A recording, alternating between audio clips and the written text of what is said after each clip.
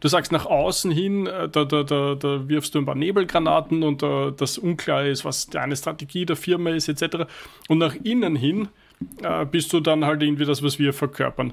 Und ich glaube, das, das funktioniert aber nicht. Ich kann mir nicht vorstellen, dass das funktioniert, dass du, dass du in deiner Kommunikation so zwiegespalten bist. Und vor allem, wie soll das auch funktionieren? Jetzt machst du, weiß nicht, ein Shareholder-Meeting und da redest du so, so, so, so und dann drehst du dich um zu deinem eigenen Team und bist auf einmal total offen und, und hin und her. Das ist auch schon öfters diskutiert worden im, im Locker-Room-Talk, jetzt beim, wenn wir wieder zum Sport zurückkommen, mit der Frage, äh, wie soll man gegenüber den Medien und dem eigenen Team umgehen? kann man sich quasi in die Medien hinstellen und dieses und jenes behaupten und sich dann umdrehen und im Teammeeting behaupten, alles ist ganz anders.